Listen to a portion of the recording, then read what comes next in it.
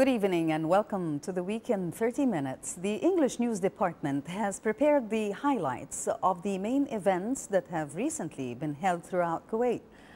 Our committed team of correspondents kept busy on the streets of Kuwait covering a variety of reports on health, education, business, technology, the environment, culture and arts, as well as other issues that are currently trending.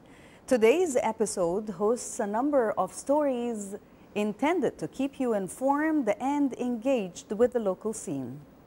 Today's program will take us to the UN headquarters in Mishref, where the UN representative to Kuwait will tell us about the occasion of the United Nations Day, which is commemorated annually on the 24th of October around the globe. Another event witnessed the Kuwaiti Association for Learning Differences, as they hosted an award ceremony for teachers. More reports are coming your way, so let's begin. From the Sahara Golf Club, this is Sarah Glubb. From the Radisson Blu, I'm Gemma Jaburi. From the Sahel Club, this is Salim Kandiri. From the Scientific Center, this is Heba Abdurrahman. I'm Badria Saleh, reporting for The Week in 30 Minutes.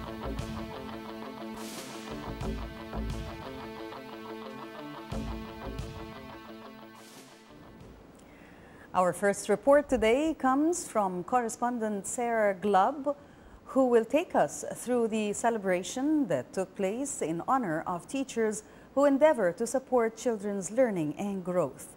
The Kuwaiti Association for Learning Differences, the KALD, organized the ceremony to celebrate the Distinguished Teachers Award for 2014. The ceremony is to recognize the efforts and capabilities of teachers who work together towards helping students with learning differences in private schools in Kuwait. KALD is a social welfare association that works towards helping students with learning differences in private schools throughout the city of Kuwait. Let's watch. Under the patronage of His Highness the Emir Sheikh Sabah Al Ahmed Al Jaber Al Sabah, Kuwaiti Association for Learning Differences, or KALD, held its annual Distinguished Teachers Award 2014 ceremony to honor three teachers for their overall efforts in the education sector. It was honored that I uh, participate in the uh, ceremony for uh, uh KALD uh, for the uh, teacher that who's helping special needs. I was proud that I, I, I be with the, all all the actually private sector or the government who was helping from one year they are working on this ceremony Uh, uh, uh, to help the kids to take their better better learning always I, uh, I, would like to attend these ceremonies because uh, I need um, uh, I, they need support from the government and we are supporting them.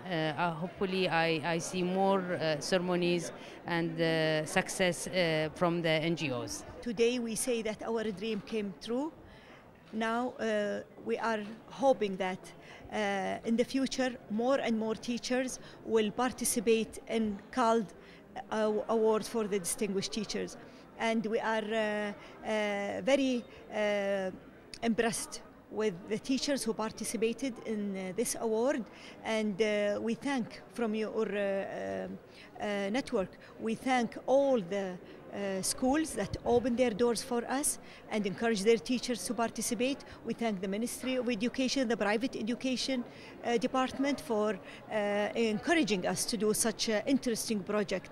And also we thank the, uh, the Ministry of uh, Foreign Affairs for uh, supporting the NGOs and also the UNDP uh, for believing in that the uh, NGOs can make a difference in developing Kuwait, especially the education. After the supervising committee reviewed and evaluated the applications based on international criteria, they nominated five teachers from Manarat School, Dasman Model School, Al Ma'rifa School, Fawzia Sultan International School, and Universal American School. Well, actually, for this award, this is a unique project done by KALD, supported by the Emir of this country. And we know at KALD there are women who are really well educated and they always volunteer for the, to provide the best for our children with special needs. I think this is the first time, not only in, in the Gulf, but also in the Arab world, to really recognize teachers in this field. Uh, it means a lot to me. I've been teaching in this field for the past 23 years. It was a big journey for me, and you can not never say that you are fine, you are a good teacher, because to be a good teacher means it's a process of an ongoing assessment, self-assessment. It's the belief of the kids that they you need to work hard to let them shine. The called Distinguished Teachers Award is a yearly award that is granted to teachers who exemplify the highest standards in teaching students with learning difficulties and attention deficit hyperactivity disorder. Kuwait Association for Learning Differences has successfully concluded their first annual Distinguished Teachers Award ceremony that was held for the first time in the Gulf region and the Arab world to honor teachers and schools for their unique and invaluable work. From the Sheikh Salwa Sabah Hall in Salmiya, this is Sarah Glubb reporting for the Week in 30 Minutes.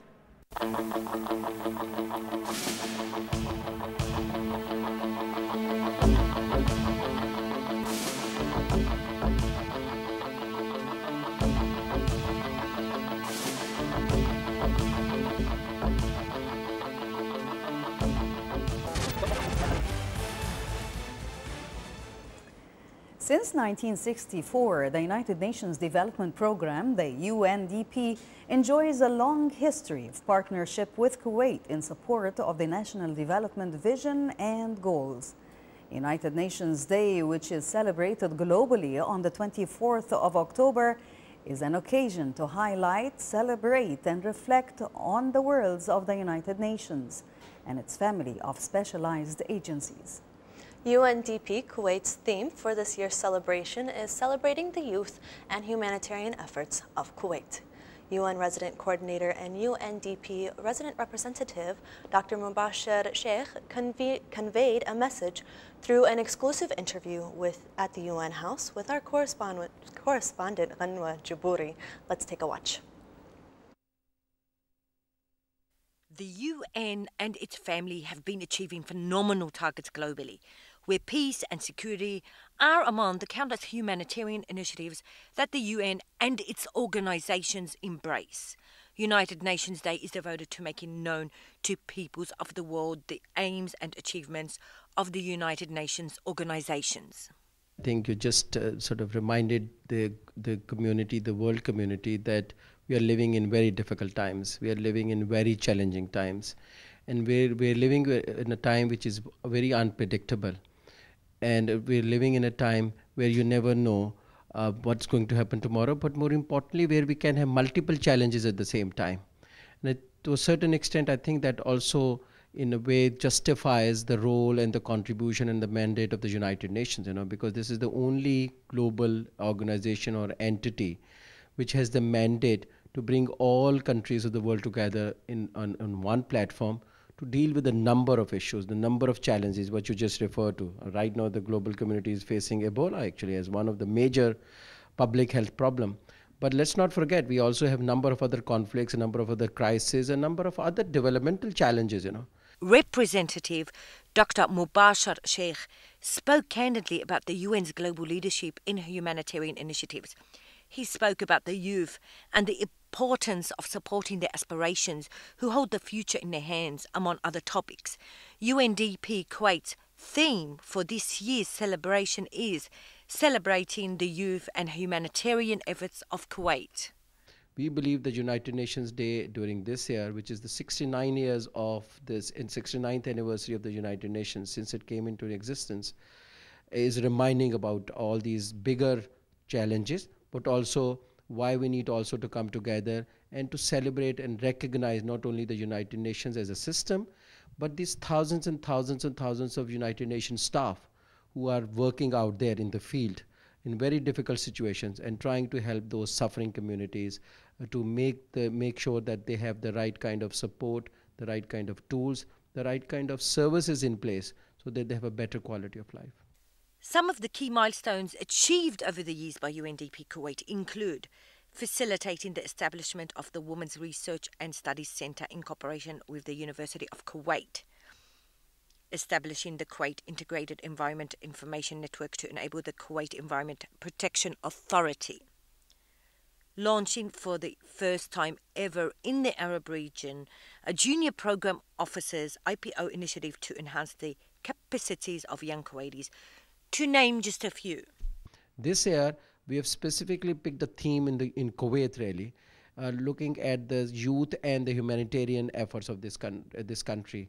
And, and specifically, the theme is celebrating the youth and humanitarian efforts of Kuwait. And, and, and it, there's a specific reason behind it. Let me start by saying youth, you know, why we are focusing on youth. This country's population is 60% uh, comprised of young people. So they are the real source, they, they are real strength of the society. But and they are some of them are doing a wonderful job really. But there is so much potential and there's so much to be done to mainstream them to harness their efforts to encourage them. And, and, and that's why we thought it is very very critical to sort of focus on the young people to give them the right kind of the platform the recognition but also encourage them motivate them and i'm really grateful to the ministry of state of youth and especially his excellency the minister of state of uh, youth you know mr sheikh salman al sabah who has been a real champion for the cause. He is really standing up. He has so much, you know, to offer, you know, and he's trying to do so much. And I'm so glad that we are a partner, we are a supporter of what he's trying to do, uh, and under the vision of His Highness the Amir, you know, who has really put the youth at the top of the, his vision, really. UN is commemorated on the 24th of October globally. This year, UN Kuwait is celebrating and honoring the youth and Kuwait for its humanitarian work. From the UN House located in Mishref, I'm Gena Jaburi reporting to you for the week in 30 minutes.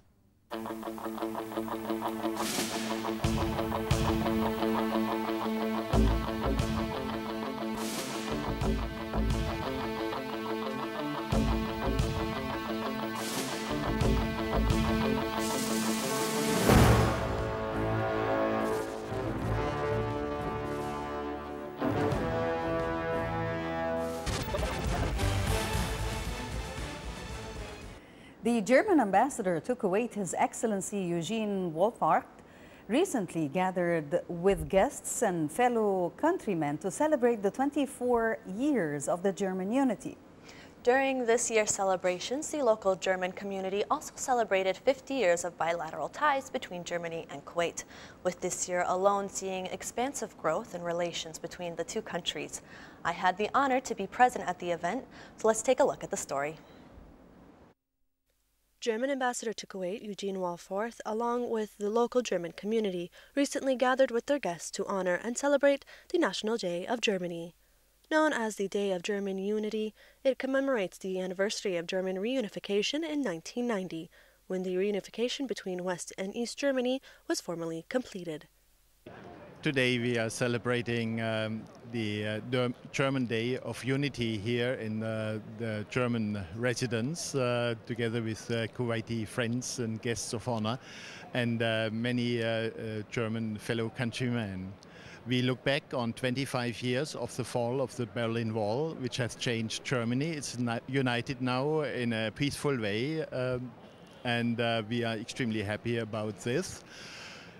The other important date we are marking this year is 50 years of uh, excellent bilateral relations with the state of Kuwait uh, between Germany and Kuwait, and it has been uh, a very, very good time with very few exceptions uh, when we had to help for the liberation. Uh, we all wished it would not have been necessary, but now the state of Kuwait is, uh, uh, is again uh, a free state. And when looking to the future, we look forward to continued excellent bilateral relations. 2014 has been very, very dense so far with good visits. This time outgoing from Kuwait to Germany, the Speaker of the Parliament, the Foreign Minister, and uh, the Prime Minister of Kuwait have visited Germany. The Prime Minister very recently uh, uh met uh, Chancellor Merkel, and uh, I think uh, things are on an excellent track. An alternative choice to commemorate the reunification is often confused with the day the Berlin Wall came down on November 9, 1989 which also coincides with the anniversary of the proclamation of the German Republic in 1918 and the defeat of Hitler's first coup in 1923. But the 3rd of October 1990, the day of the formal reunification, was chosen instead, thus replacing the Day of German Unity on the 17th of June, the national holiday of the Federal Republic of Germany from 1954. This is for us a very special day. We celebrate uh, 50 years of diplomatic relation with Kuwait.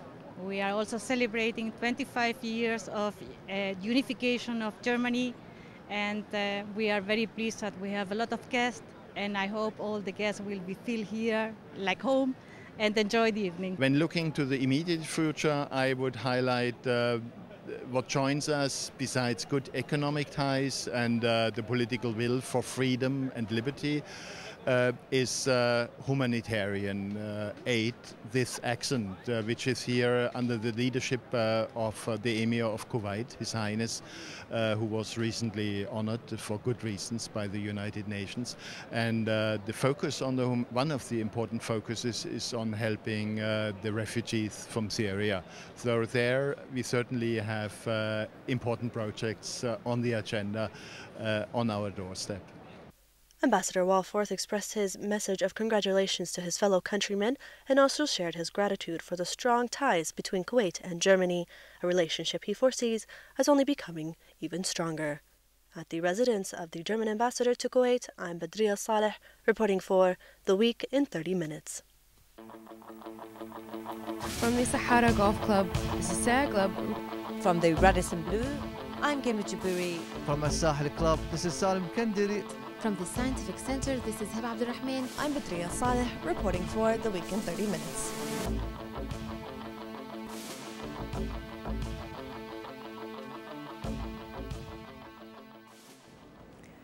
Our next report comes from correspondent Salim Al-Kandari and is entitled The 12th National Conference From Kuwait We Begin and to Kuwait We End.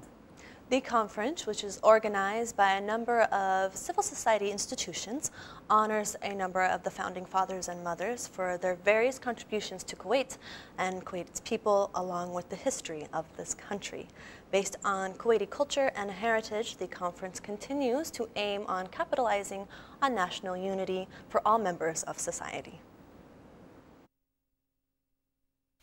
Under the sponsorship of the Minister of Information and Minister of State for Youth Affairs, Sheikh Salman Sabah Al Hamoud Al Sabah, the 12th edition of the National Conference took place for two days, honoring some of the founding fathers and mothers of Kuwait. It's an event about Kuwait, about being, uh, uh, actually about belonging to Kuwait. Uh, what is Kuwait? What to, what what we have to do uh, for for Kuwait, and we are doing it in indirect way. We are uh, uh, having to reward those who did the best for Kuwait, who has an achievement for for Kuwait, and we are um, rewarding them by by telling their name and their achievements to the public. Actually, um, it depends. Sometimes we do it every six months, and sometimes we do it every one year. So it depends about the, the people, because the people who achieve are the most important things that we are we, we are talking about. So if we have more people, uh, those who have achieve, achievements, we will do it.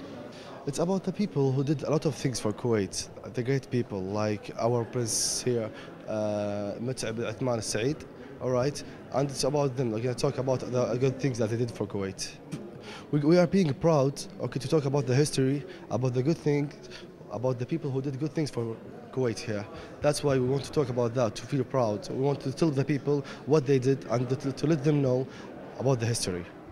The conference included various activities and presentations that aim to promote loyalty and fulfill the values of Kuwait and publishes the meanings of moderation and consolidate the established national values and support youth projects and contribute to achieving the vision and objectives of the state in promoting unity. Kuwait's 12th National Conference was held for those two days in honor of Kuwait and also in appreciation of among the founding fathers and the founding mothers who put their hands together for unification and appreciation of Kuwait. From Al Babtain Library, this is Salim Kandiri reporting for the week in 30 minutes.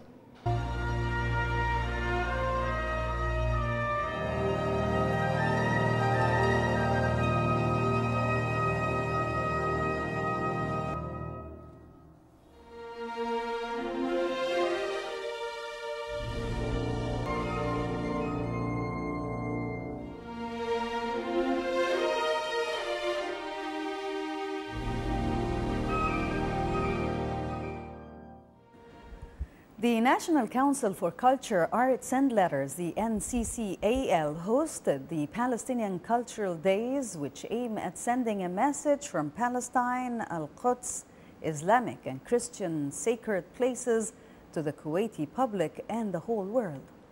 Palestinian ambassador to Kuwait said that the event was another milestone in bilateral relations with Kuwait, which date back all the way to the 1920s, adding that Palestinian embassy and the NCCAL were keen on the cultural events to be successful. Our correspondent Sarah Glubb brings us this report from the Desmond Theater.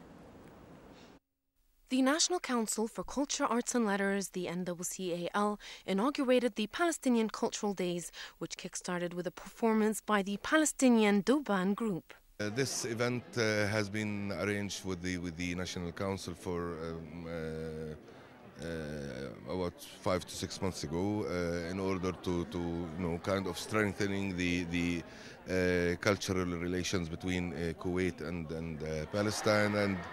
Uh, as kind of uh, also strengthening strengthening the, the relations between uh, Kuwait and, and Palestine in, in general.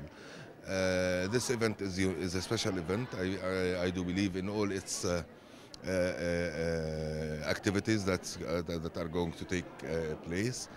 as you noticed in the in the in the outside in the lobby of the theater, that we have an exhibition and this exhibition is also not traditional Palestinian exhibition. It's uh, uh, it's uh, something new and uh, it's a modern heritage, uh, uh, Palestinian heritage.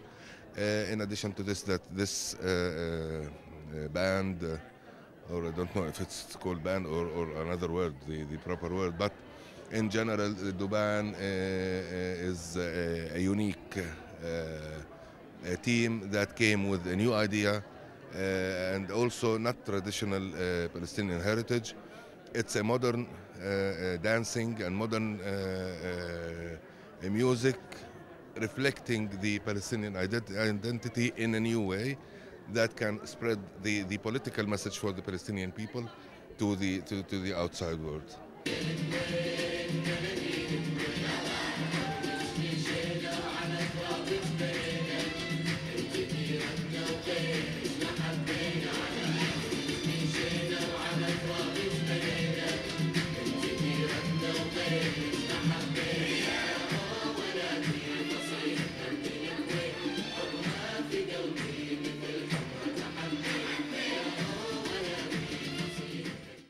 Kuwait and Palestine are bound by common civilization and social aspects that are not restricted by language, but rather by the unity of the past, present, and future.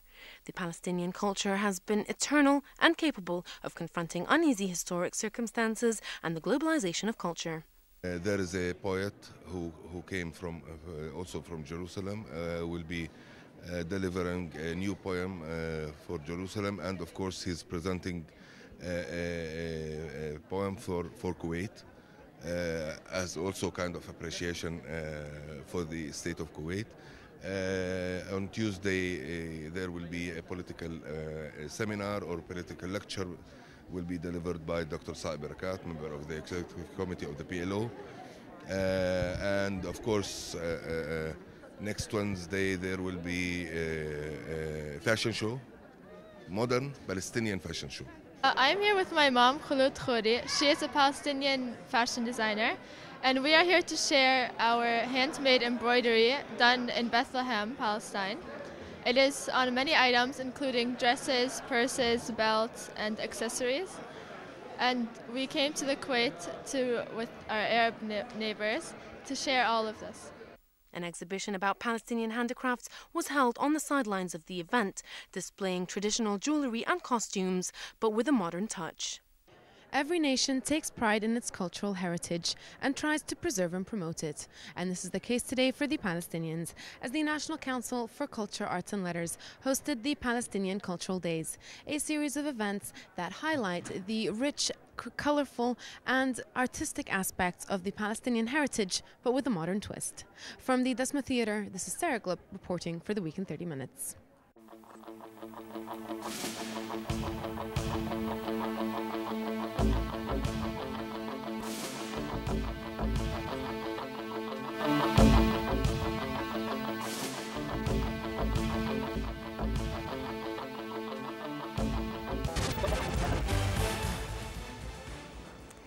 Next, Sarah Glubb will take us through one of the most popular and loved celebrations of the Indian community. Indians in Kuwait.com organized their third annual mega community celebration for Diwali Mela 2014 under the patronage and attendance of the Ambassador of India to the State of Kuwait, His Excellency Sunil Jain. Bringing all the Indian communities in Kuwait together, the event marks Diwali also is well known as the Festival of Lights, which spiritually symbolizes the victory of light over darkness, knowledge over ignorance, good over evil, and hope over despair. Let's watch.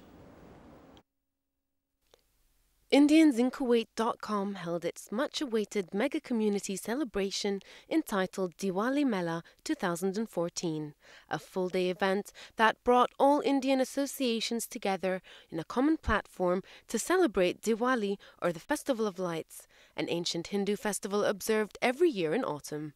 Diwali is a big celebration in India we all Indians celebrate Diwali. It's a, a big celebration. So here, like uh, we are celebrating this for the third time. Here, all uh, Indian community is coming together this, uh, for this celebration, and they are part of this celebration. Here, the main thing is like we are bringing uh, all people from uh, different part of India, like from North India, South India, West India, all coming together to for this celebration. And they have a lot of community performance, dance performance, cultural performance, all these things we are having here. Deepavali is the festival of lights. It's celebrated by uh, all communities and uh, with the lighting of lamps, fireworks and crackers. So I think uh, on 23rd, if you see our uh, TVs all over uh, India, you'll find the, and of course on this occasion, uh, we all clean our houses, paint them, and children enjoy sweets. Of course, and there's a very strong uh, spiritual side to it. This represents it's a moonless night, and after 14 years of exile, Lord Ram returned to Ayodhya. That is to celebrate his coming home. So this is the significance of the festival. Various local and regional Indian associations participated in the event, which featured a variety of stalls displaying flavors from different parts of India and all kinds of games and activities for the whole family. We are glad to be a part of this event and uh, we are sponsoring some free tickets and uh, we've got some souvenirs given away and uh, especially I'm tapping those communities from Indian uh, we are offering them special prizes, uh, you know, special uh, uh extra luggage when they travel. And we, we are giving some specialized things today in this Diwali event. And I wish all Indians a happy Diwali too. Us as the Murad Behbani group via TikTok, we always support all communities in Kuwait, regardless from where they are. We just support the Kuwaiti community, the Indian community. We support them to do you know, cultural events. That way we get closer to all communities in Kuwait and it's a very excellent uh, event that they sponsor every year and we try to be a part of it one way or the other every year.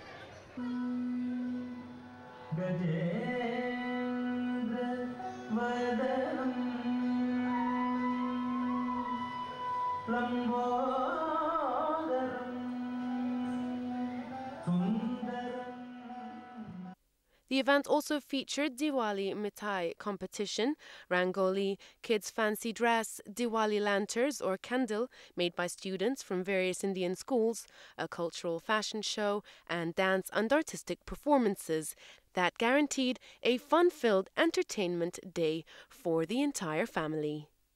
Thousands of Indians from various walks of life have turned up to participate in one of their country's most popular and important holidays. As for the third year, IndiansInKuwait.com has organized their full day mega community event to celebrate Diwali, the Festival of Lights. From the Salmiya Indian Model School, this is Sarah Glubb reporting for the Week in 30 Minutes.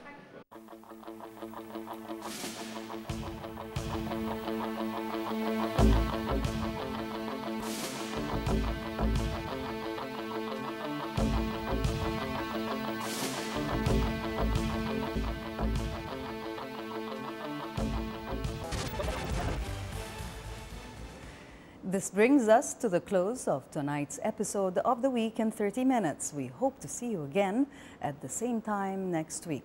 Our highly dedicated team is constantly out on the field searching for reports that matter most to you. We look forward to receiving your feedback on the stories we received today. We're also ready to cover issues that you find interesting. So please email us your suggestions at moikuwaitnews at gmail.com. You can also follow us on Twitter, MOI Kuwait News, and on Facebook at MOI Kuwait News. And of course, if you would like to see the reports we covered today, again, you can visit our YouTube channel at MOI Kuwait News. Have a good night, and we'll see you next week with more exclusive reports. Good night. هنا الكويت